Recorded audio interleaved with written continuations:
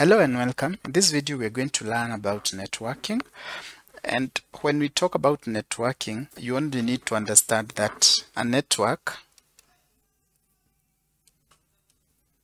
is a connection between two or more computers. If somebody asks you what a network is, it is a connection between two or more computers. There's more in networking than just connections between computers. I want you to assume this is an office environment. We have a number of desktop. We have desktop 1, desktop 2, desktop 3. And we have one laptop. In the same office, we have a, a switch and we have a, a router. And we also have a server. This is a an, an ipad and this is a mobile phone. We want to make sure that these devices can communicate amongst each other. Let's start with the basic form of networking. So if you want this laptop to communicate with this desktop we can connect the two using a cable. And this type of network is called peer to peer network. You cannot go connecting these devices using a cable because these only have one or two ports. One port for Ethernet, I'm going to explain what Ethernet is. It is also have maybe HDMI, and the others are maybe USB ports. So you need to use these ports for other function, not just connecting to the internet. And you see this laptop is supposed to be connected to all these three desktops, a mobile phone, a tab, a server and a server. So you it, this is not achievable with laptop. So this course is about coming up with solutions that helps us connect devices in a standardized way that is uh, neat and in a way that will help us achieve the objectives that we are we want to achieve by connecting these devices.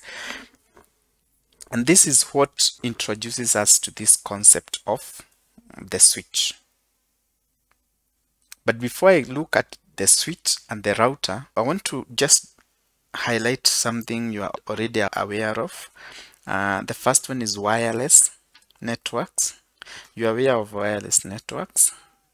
Maybe you don't know how they work, but you know that uh, when you connect your mobile phone to your office network is wirelessly.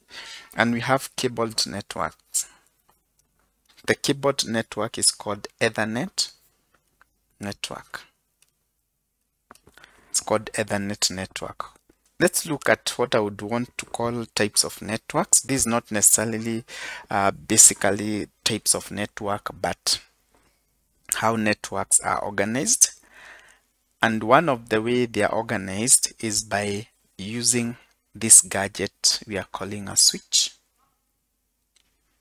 So in this kind of arrangement, we can have a cable come out through the ports of a switch all the way to the computer. So this kind of connectivity that uses a, a switch such a way that if you connect, let's say just go to the nearest one, another one then goes to the server then we'll have another cable that comes all the way and goes to then then we have another cable that comes here all the way to the switch. The same with this. But of course these cables are well well organized. They are not as the way i'm drawing them. They are neatly done in walls and well clipped at the end to achieve the objective. So when you have a network that has cables so the switch will be switching so when you receive uh, this is the switch switch has ports port 1 port 2 port 3 So you connect probably this in port 1, this computer port 2, and this is port 3. So when this sends data to this port, this data is available in all the other ports. That is what switching is about. The data is sent one port, but it is made available by the switch through the all the other ports. So if you remove this cable and connect it here, it's still going to receive the signals of this switch. So for these two laptops to communicate, they are being assisted by the switch, and that is what we call switching. And you can you can call this switched network. You can call it Ethernet network. And it's also a cabled network. But the best way is to call it an ethernet network. When you have this kind of connection where you have connected these devices together and they're able to communicate the moment you connect one or two two or more it becomes a local area network so a local area network is a network that belongs to one entity. It could be one organization, could be one home. So it's a private network that belongs to an entity. The entity can mean anything. A home, an organization, an office, a home, an office, a school, so when this network is restricted to a certain small area that is under the control of an organization, this is what we call a local area network. And uh, in my diagram, I have this, this equipment that are inside the office. We have some equipment here that are outside the building. Outside building and this other area for for administration you can call it admin area. So this is what we call a local area network. So this switch is supplying is connecting devices in the office the server room and outside. In your the place where you usually go out and bask in the sun probably under a tree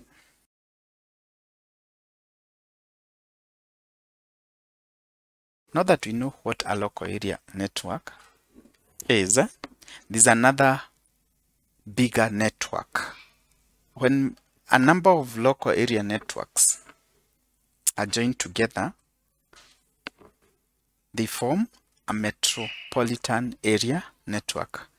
But there are restrictions up to how far a metropolitan area network can extend.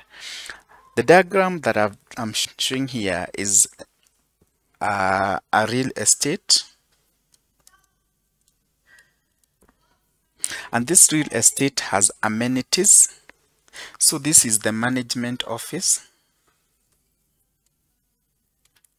Office this is where the, this whole estate is managed from. So the management office this is this is a school there's a school inside there and this is a, a primary school and this is a, a secondary school. There could be high school university or they could be organized in a different way. We have a church where people go to worship or a mosque depending on which religion you, you come from. And this is the the shopping center and the shopping center also have offices. So there's a shopping center with offices and office blocks. Then down here we have homes where people live. All the, this area because it's a controlled area gets their internet from this one location. So the the management office is the internet service provider and it is the same uh, that manages this whole network. These buildings are developed by these people. These same people provide networking, have done the networking services for these houses.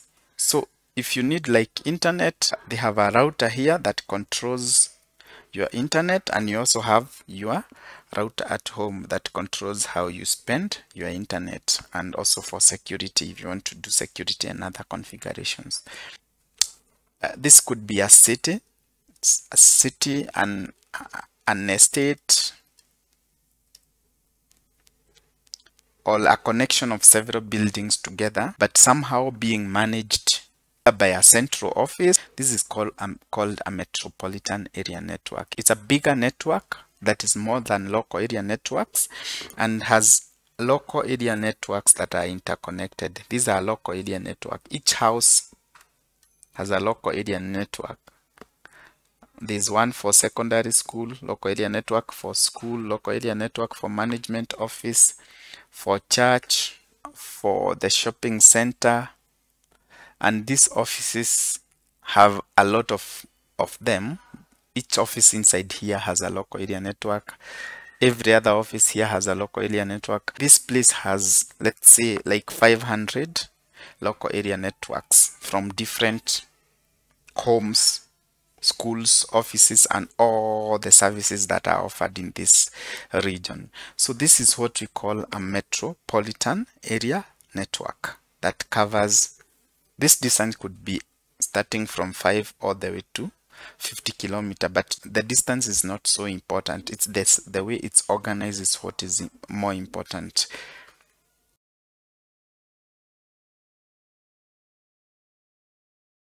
we have talked about a local area network. We have also seen that when the local area network spans is organized as a city an estate or like uh, some buildings that are managed by a management office we call this metropolitan area network.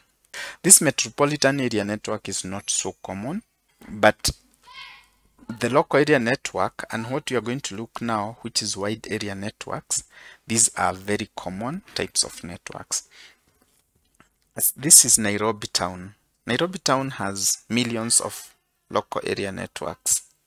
I've only given five. So there's a local area network here, a local area network here, a local area network here, local area network here. These LANs are, are connected either directly or indirectly. Directly or indirectly. Outside, you go to other cities you can call this maybe this is Kampala Uganda this is Accra in Ghana so these networks also connects to that eh? and also connects to that eh? then maybe this is somewhere like uh, United Arab Emirates this is Dubai so you connect again. You will find this is somewhere like uh, Moscow. So the same thing there's connection between this. Then you go all the way to New York. These are the other networks for New York. They interconnect with each other.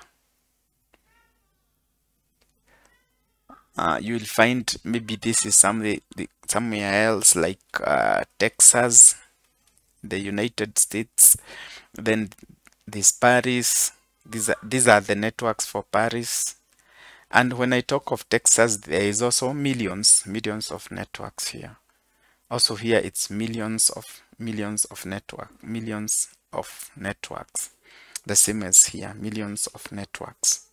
So when you connect all these local area networks, you get a wide area network. But doesn't mean that you have to connect all of them. Even the connection between Nairobi to Paris only is a wide area network. Assume this is the local area network that we had explained in the previous video. And this local area network only connects in another local area network in, in Paris. And this is a head office and this is a branch in Paris.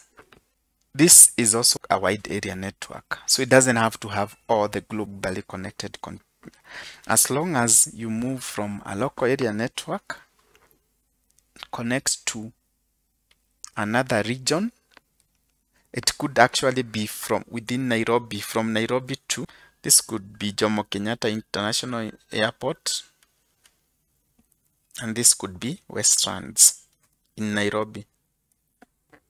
So even this connection is a wide area network.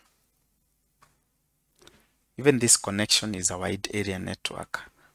So it doesn't have to have the whole network. So the internet is the, the world's biggest wide area network.